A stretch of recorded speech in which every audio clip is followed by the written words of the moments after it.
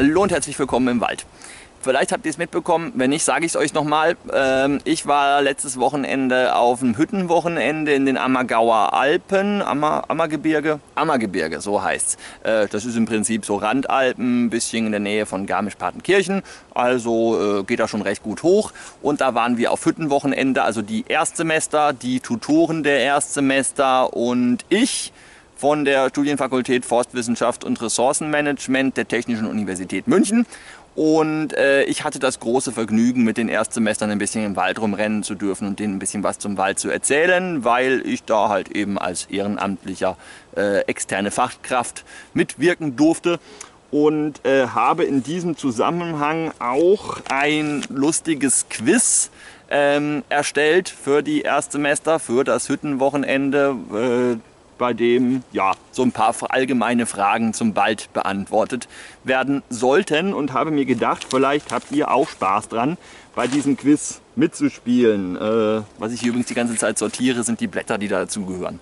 Ähm, es ist so, das Quiz enthält ein paar Bilder von bestimmten Tier- und Pflanzenarten, die ich euch nicht zeigen kann, weil ich nicht möchte, dass die Bilder im Internet landen, weil ich nämlich nicht die Rechte dafür habe, was noch okay ist, wenn man es intern in der Studienfakultät verwendet. Dann ist das alles nicht so dramatisch und das nicht weiter nach außen dringt. Aber im Internet hat nichts zu suchen, daher gibt es diese Bilder. Fragen jetzt nicht. Äh, stattdessen äh, halte ich euch dann ein paar Dinge, die ich hier im Wald so finde, in die Kamera und ihr dürft mir dann sagen, was das ist. Alle anderen Fragen gibt es mehr oder weniger genauso, wie ich es auf dem Hüttenwochenende gestellt habe. Ähm, Hilfsmittel, muss man dazu sagen, waren für die Erstsemester die äh, Hilfsmittel, dass sie so lange bei irgendjemand rumgesessen sind, der sich mit dem Wald gut auskennt, sprich irgendwelche Tutoren oder mich. Ähm, bis dieserjenige dann irgendwann mal einen Tipp hat fallen lassen oder denjenigen so lange irgendwie zu löchern, bis er auch mal einen Tipp hat fallen lassen. Dieses Hilfsmittel steht euch jetzt nicht zur Verfügung. Dafür hatten sie auf der Hütte kein Internet, außer sie hatten ein Smartphone, das zufällig Empfang hatte, aber das hatte glaube ich kaum jemand. Ein oder zwei vielleicht. Äh, und die hatten natürlich auch keine Bücher, wo sie irgendwas hätten nachlesen können und so weiter. Theoretisch könntet ihr das jetzt alles tun, aber ich würde euch bitten, wenn ihr hier ehrlich mitspielen wollt, das zu unterlassen und einfach nur das äh, an Wissen aufzuschreiben, was ihr selber besitzt. Nächstes Thema, aufschreiben. Es gibt zwei Möglichkeiten jetzt eben hier mitzumachen. Entweder ihr schnappt euch einen Zettel und füllt für euch die jeweilige Frage aus und schreibt eure jeweilige Antwort hin, was ihr der Meinung seid, was richtig ist. Und ich mache im Anschluss dessen, dass ich euch die Fragen gestellt habe, mache ich auch noch ein Lösungsvideo, äh, wo ich euch dann verrate, was richtig ist und erzähle auch noch ein bisschen Hintergründe dazu. Also nicht nur die richtige Antwort, sondern auch, warum ist die richtig und wie funktioniert das ähm, physiologisch gesehen und so weiter und so fort. So, ähm, Genau, und die zweite Möglichkeit, wie ihr mitmachen wollt, wenn ihr da dran Spaß habt, dann geht doch einfach mal runter in die Kommentarzeile. Lest nicht die Kommentare der anderen. Ganz wichtig, nicht die Kommentare der anderen lesen, sonst werdet ihr unter Umständen mit den richtigen Antworten schon gespoilert und dann habt ihr natürlich auch keinen Spaß mehr am Quiz. Äh, wenn ihr ohnehin schon wisst, was richtig ist, bin ich eigentlich unscharf? Hm, jetzt nicht mehr.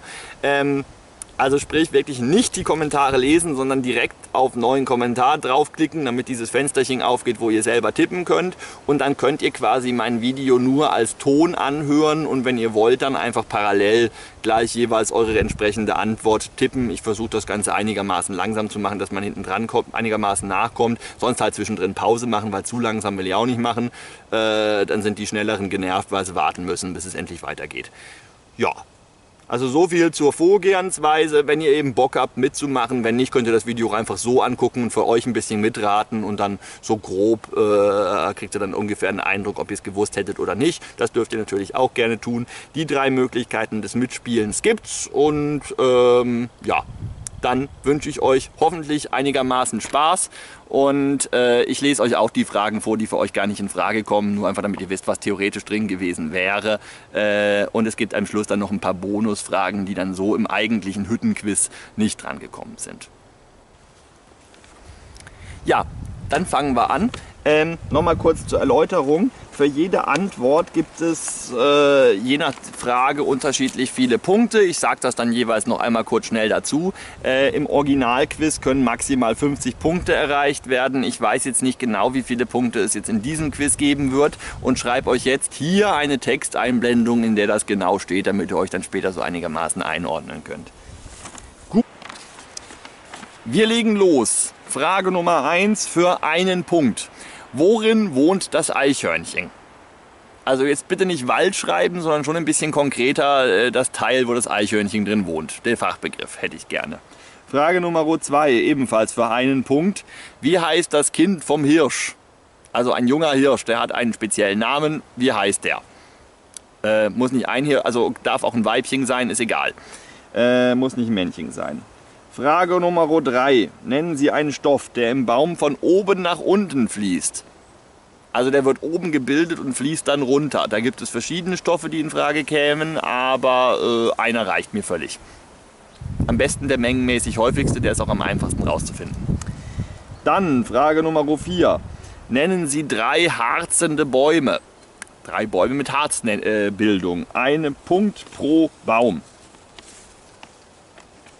Frage Nummer 3 übrigens, das Ding mit dem äh, Stoff, der von oben nach unten fließt im Baum, dafür gibt es auch zwei Punkte. Habe ich vergessen zu sagen, Entschuldigung.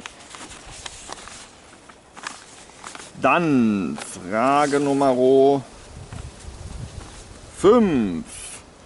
Nennen Sie drei Merkmale zur Unterscheidung von Tanne und Fichte. Da müsst ihr ein kleines bisschen mehr schreiben, also das ist jeweils so ein kleiner Satz, der dahin müsste. Äh, zum Beispiel, Tanne wird höher als Fichte. Das stimmt nicht, das war jetzt nur so ein Beispiel, damit ihr wisst, was ich so ungefähr hören muss, äh, möchte.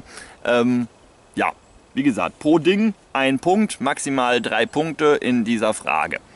Könnt ihr euch dann entsprechend aufschreiben. Dann Frage Nummer 6. Wer prägte den Begriff Nachhaltigkeit? Oder auch die Nachhaltigkeit oder, wenn man ganz korrekt sein möchte, nachhaltende Nutzung. Das war ein bestimmter Mann. Und dann möchte ich noch gern hören, in welchem Jahrhundert er das geprägt hat. Äh, und dazu gibt es jetzt vier Antwortmöglichkeiten. Und bei einer richtigen Antwort für den Mann gibt es einen Punkt und dann nochmal einen extra Punkt, wenn ihr auch noch das Jahrhundert richtig erratet. Aber das müsst ihr so wissen, besagtes Jahrhundert. Dafür gibt es keine Vorgabe. Gut, war das A. Peter Stromer, B. Heinrich Kotter, C. Georg Ludwig Hartig, D. Hans Karl von Karlowitz oder E. Ich. also Benjamin Tüxen. Ja, das Quiz sollte auch ein bisschen lustig sein. Ne? Kleiner Tipp, ich war es nicht. so, dann Frage Nummer 7. Was versteht Mann oder Frau äh, unter einer Wüstung? Einfacher formuliert, was ist eine Wüstung? Gibt einen Punkt. Antwortmöglichkeiten. A. Ort, wo wüste Kerle wohnen. Mhm. B. Platz, der sich langsam zur Wüste entwickelt. C. Aufgelassene Waldsiedlung. D. Besonders verwüsteter Ort im Wald. Irgendein Idiot hat hingeschrieben, Bens Kopf. Mmh, nicht lustig. Gar nicht lustig. Also das ist schon mal falsch, ja? Nur, dass ihr es wisst. Äh, Frage Nummer 8. Vervollständigen Sie folgendes Zitat von Professor Moog. Ähm, jetzt muss man dazu sagen, Professor Moog ist unser Forst-BWL-Professor. Er polarisiert. Ich finde ihn persönlich sehr cool. Äh, falls Sie das jemals sehen sollten, Herr Moog, vielen Dank für Ihre tollen Vorlesungen. Mir hat es immer sehr viel Spaß gemacht. Ähm, und Herr Moog dichtet gerne. Und Herr Moog hat deshalb ein paar phänomenal witzige Sprüche und einer davon äh, ist Teil dieser Frage. Ihr könnt es euch vielleicht trotzdem denken, auch wenn ihr Herrn Moog nicht persönlich kennt. Ähm, vervollständigen Sie folgendes Zitat von Professor Moog. Mehr noch als Omas Kuchen liebt der Förster. A. Dicke Buchen. B. Lichte Fichten. C. Muss ich große Hupen jetzt zensieren, wenn ich das im Internet sage? Weiß ich nicht. D. Derbes Fluchen. Sucht euch was aus. Es sollte nicht allzu schwer sein. Denkt dran, der Mann ist Professor. Ne? Was könnte der wohl sagen? so, jetzt muss ich die andere Seite suchen. Genau. Frage Nummer 9. Und entschuldigt, jetzt muss ich kurz mal den Stift rausziehen und mir eine Notiz machen. Sonst komme ich nämlich mit der Nummerierung der Fragen durcheinander, weil ich ja zwischendurch ein paar weglassen muss.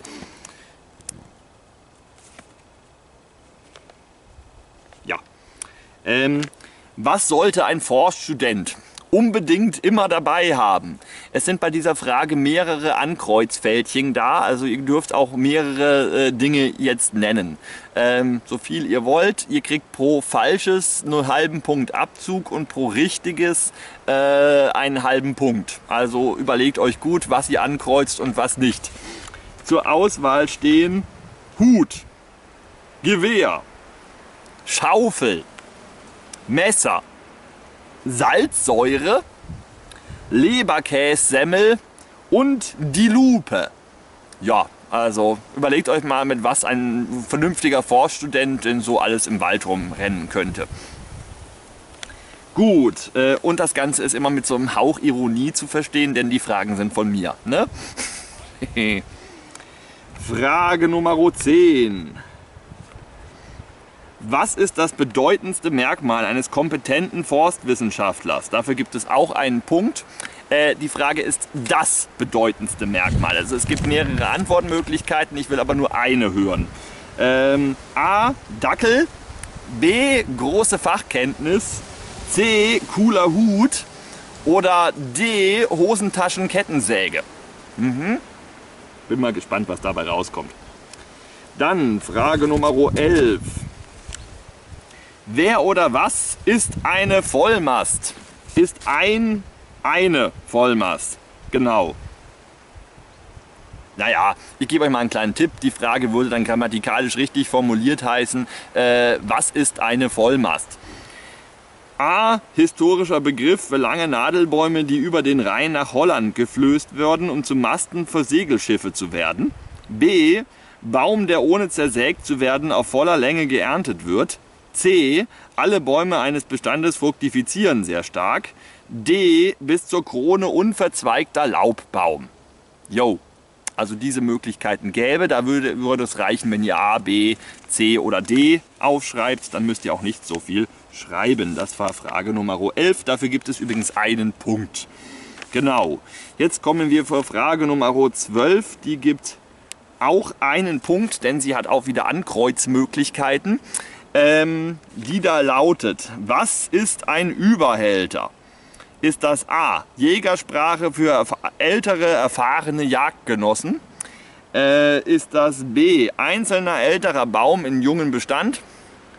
Ist das C, Mast für Drahtseil bei der Holzernte im Gebirge? Ist das D, Baum, der durch besonders breite Krone äh, als Schutz für land landwirtschaftliche Nutzpflanzen fungiert. Jawohl.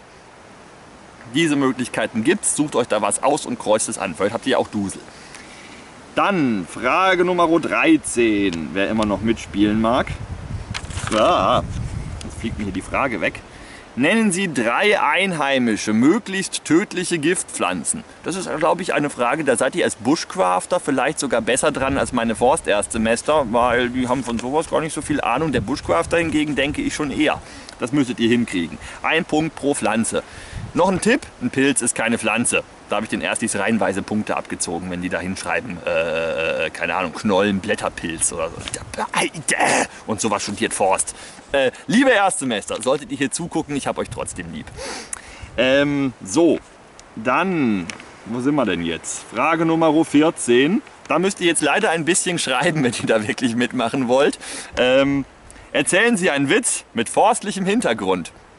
Den Klassiker, der nicht zählt, den nenne ich euch mal, damit ihr wisst, was ich hören will. Treffen sich zwei Jäger, beide tot.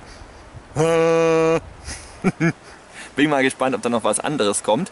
Ähm, irgendein Zuschauer hat mir da mal so einen großartigen Waldwitz erzählt mit äh, einem Blatt, das Photosynthese macht, einer Raupe, die dann das Blatt frisst, ein Vogel, der die Raupe frisst, eine Katze, die versucht, das, äh, den Vogel zu fressen und dann ins Wasser fällt und der Rest ist leider nicht jugendfrei, aber großartiger Witz, wenn derjenige, der den geschrieben hat, sich jetzt angesprochen fühlt. Nochmal herzlichen Dank, ich habe den auf dem Hüttenwochenende oft erzählen müssen, den Witz, der war da sehr beliebt. Es gab viel Alkohol, muss man dazu sagen alle anderen, die nicht kapieren, wovon ich jetzt eine Ahnung, äh, von, äh, wovon ich spreche, dann tut es mir herzlich leid, ihr werdet dumm sterben müssen. ja, ja. Ähm, so, Frage Nummer 15. Wählen Sie Ihre Lieblingsbaumart und begründen Sie Ihre Wahl mit ökologischen und oder forstökonomischen Eigenschaften Ihrer Baumart. Bis zu vier Punkte. Jetzt ist natürlich so, dass ihr jetzt nicht unbedingt wahnsinnig viele unglaublich forstökonomische und forstökologische Eigenschaften aufzählen müsst. Sagt mir einfach, was eure Lieblingsbaumart ist und nennt mir ein paar vernünftige Gründe, wozu man diese Baumart verwenden könnte unter Umständen. Das sollte für euch als Bushcrafter auch nicht weiter schwierig sein. Insbesondere, da es ja so einen YouTube-Kanal gibt, wo so ein Typ dauernd irgendwelche Bäume vorstellt. Ne? Gut, ähm, dann Frage Nummer 16, ich nenne sie euch mal, ihr werdet sie wohl kaum richtig beantworten, ihr dürft es aber gerne trotzdem versuchen. Nennen Sie die Anzahl der Toiletten im Forstgebäude. Räume, nicht Schüsseln. Das ist von daher ein kleiner Gag für die Erstsemester, weil wir einfach wissen wollten, also wir meint äh, die Tutoren plus ich, äh, wie gut die sich schon in ihrem eigenen Gebäude auskennen. Denn man muss dazu sagen, das Forstgebäude hat unendlich viele Toiletten, wenn man bedenkt, wie wenig Leute da drin sind. Also es sind schon viele Leute, aber die Zahl der Toiletten ist echt abnormal. Ich glaube, es sind 42 oder sowas. Behindertenklos mitgerechnet. Ähm, das hat verschiedene Gründe. Äh, zuerst gab es zu wenig Toiletten, dann hat man noch nachträglich welche einbauen lassen und damit hat man es dann übertrieben. Auf gut Deutsch, äh, es kann so ungefähr ein Drittel der gesamten Belegschaft des Gebäudes kontinuierlich zeitgleich auf dem Klo sitzen. Ist doch mal was, oder? ähm, dann Frage Nummer 17. Wie hoch kann ein Baum weltweit maximal ungefähr werden? Dafür gibt es einen Punkt wenn ihr das wisst. Und nochmal zwei extra Punkte gibt es, wenn ihr auch noch wisst, warum. Ne? Für den, die eine Sache, die Maximalhöhe, gibt es ein paar Antwortmöglichkeiten und ehrlich gesagt würde ich zwei davon gelten lassen. Also nicht zwei ankreuzen, sondern zwei von den vieren sind richtig. Die da lauten A 85 Meter, B 100 Meter, C 115 Meter oder D 130 Meter. Und wie gesagt, sollte jemand von euch tatsächlich wissen, warum das die Maximalhöhe ist, dann bin ich enorm beeindruckt, muss ich sagen. Äh, das ist nämlich wirklich schwierig. So, dann Frage Nummer 18. Welche Baumart ist jeweils, und dafür gibt es jeweils einen Punkt, die höchste der Welt, die dickste der Welt und die massereichste der Welt. Massereichste meint das größte Volumen. Also ne, am meisten Holz. Welcher Baum hat äh, das insgesamt größte, man könnte auch Gewicht sagen, wenn man so möchte. Also es geht um wirklich Stammdicke, Stammhöhe äh, und eben das größte Volumen, Holzmenge. So kann man es auch sagen. Wenn ihr Bock habt, könnt ihr mir noch zusätzlich hinschreiben, die älteste Baumart der Welt. Moment, ich notiere. Ist mir nämlich gerade spontan eingefallen. Also welcher Baum ist der älteste der Welt? Die Baumart. Jeweils will ich natürlich die Baumart hören, jetzt nicht wie der Baum heißt. Diese ähm, Rekordhalterbäume haben immer auch einen Eigennamen. Also die heißen dann Hans. Nicht wirklich, aber nur damit ihr wisst, was ich meine. Ne? Äh, das Ganze nicht googeln, wenn man es googelt, ist es einfach. Vielleicht wisst ihr es ja auch so. Oder ihr könnt es hinterher googeln, wenn ihr es dann wissen wollt. Oder ihr guckt halt eben meine Auflösung. Äh, je nachdem. Sodala, das war Frage Nummer 18. Frage Nummer 19 ist dann die äh, ja, Evaluierungsfrage, die packen wir jetzt hier auch noch mal rein, spaßeshalber, ähm, die da lautet, Bonusfrage, wie fanden Sie dieses Quiz? A. Großartig. Der Fragenschreiber ist ein Genie. Außerdem hat er einen coolen Hut. Dafür gibt es dann drei Punkte. B. Ich finde es spitze, will dem Typ mit dem Hut aber keinen Honig um den Bart schmieren und bekomme deswegen nur zwei Punkte. Das ist so die moralisch korrekte Antwort übrigens. C. Fand das Quiz ganz okay, aber wer ist der Typ mit dem Hut? Das gibt dann nur noch einen Punkt. Dann gibt es noch die Möglichkeit D. Quiz ging so, aber ich mag keine Typen mit Hut. Das gibt dann keinen Punkt. Äh, e ist, Quiz war eher doof. Da ging es um Bäume. Bäh, das gibt minus einen Punkt. Und dann hat man für vier Punkte theoretisch noch die Möglichkeit, ich bin anderer Meinung und zwar und formuliert seine Meinung aus. Wer das in den Kommentaren gerne tun möchte, darf das gerne tun. Da habe ich dann auch nichts dagegen und für jede einigermaßen fundierten Kommentar gibt es dann auch vier Punkte. Das ist mal lustig. Ich darf mal Kommentare meiner Zuschauer bewerten mit Punkten. Ui. Äh, wer mir einen Daumen runter gibt, kriegt gleich mal 5 Punkte Abzug. ähm, genau.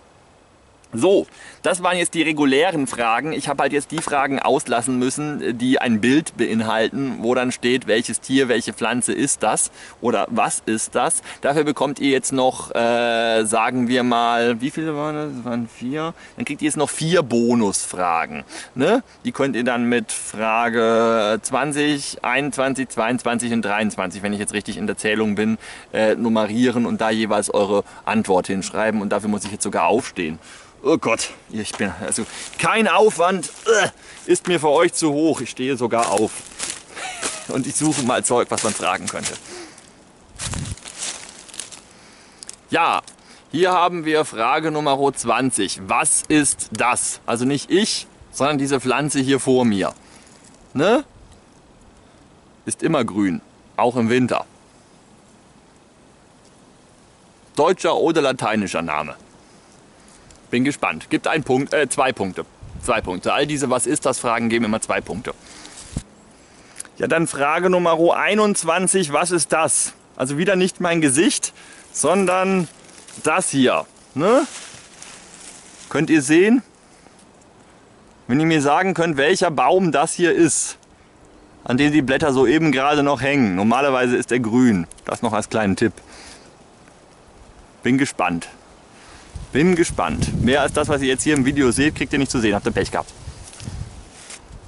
Tja, und dann Frage Nummer 22. Was ist das? Hm? Hm? Na, wer kennt's?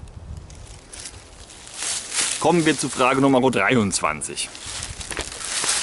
Ja, und Frage Nummer 23 ist jetzt ganz schön schwer, nämlich, was ist das für ein Baum? Dieser da. Und das halt eben im unbelaubten Zustand. Fies, gell? Und dann auch noch gegens Licht gefilmt, sodass man auch ja keine Details erkennen kann. Dafür ist die Baumart relativ gebräuchlich.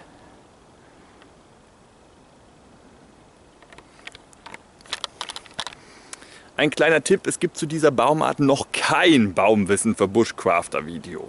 Hm, hm? Ja, also das wäre das Quiz gewesen. Damit sind wir bei 23 äh, Fragen insgesamt. Und vielleicht hat es euch ja ein bisschen Spaß gemacht und ihr bekommt ja sowieso Punkte, wenn ihr mir eure Meinung sagt. Ne? Ähm, ja, wie das Ganze funktioniert, hatte ich euch ja schon gesagt. Demzufolge könnt ihr es euch jetzt selber auf den Zettel schreiben, wenn ihr Lust habt. Und äh, andernfalls müssen wir dann entsprechend die Kommentare durchschauen. Bin gespannt, was da so alles gibt, wenn ihr Bock habt.